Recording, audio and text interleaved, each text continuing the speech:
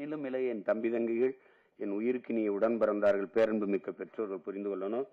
நாங்கள் தனி நாடு கையில ஏன் கையில? இந்த நாடே என்னது?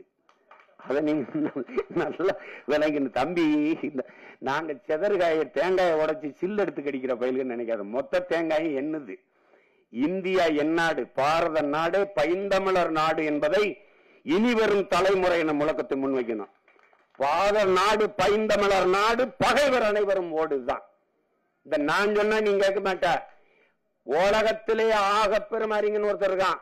அறுபத்தி ஆயிரம் புத்தகம் படித்தவன். ஆசிய கண்டத்திலே மிகப்பெரிய நூலகம் தனி மனித நூலகம் இருந்தது.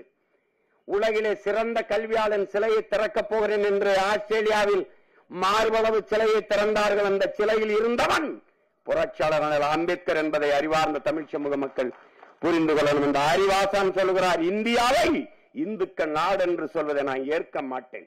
இந்த நிலப்பரப்பு முழுதும் தமிழை தாய்மொழியாக கொண்ட நாகர்கள் தான் பரவி வாழ்ந்தார்கள். என்னுடைய மூதாதைகளின் மொழி கூட தமிழ்தான் என்று.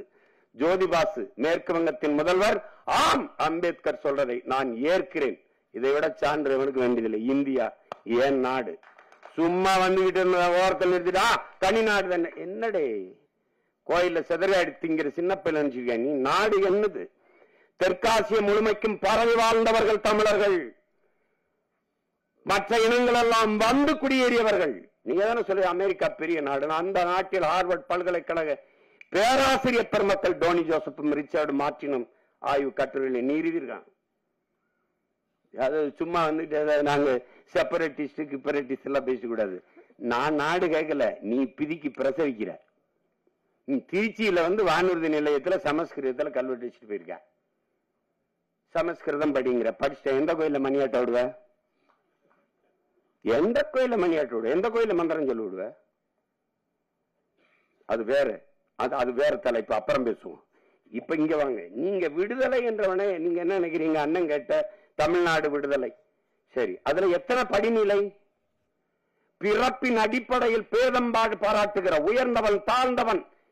என்று பாகுபாடு பாராட்டுகிற அந்த சமூக விடுதலை தேவைப்படுது. முதல் படி. ஏழை பணக்காரன் என்ற பாகுபாடற்ற வர்க்க விடுதலை. இரண்டாவது படிநிலை ஆண் பெண் என்ற பாலியல் வேறுபாடற்ற சமத்துவம். பெண்ணிய விடுதலை சமத்துவம். அங்க பாலியல் வேறுபாடற்ற சமத்துவம் பெண்ணிய விடுதலை. அதற்கு பிறகு பொருளாதார விடுதலை. ஒரு நாட்டின் மிக முக்கியம் பொருளாதார விடுதலை. அதற்கப்புறம் தான் கடைசி படிநிலை தான் அரசியல் விடுதலை. உலக நாடுகள் தனித்தமிழ் நா- தனித்தமிழீழ சோசலிச குடியரசு இது என்று அங்கீகரிக்கல அவ்வளவுதான். மற்ற விடுதலை எல்லாம் அடைந்தார். அந்த விடுதலை தான். இங்க பாருங்க.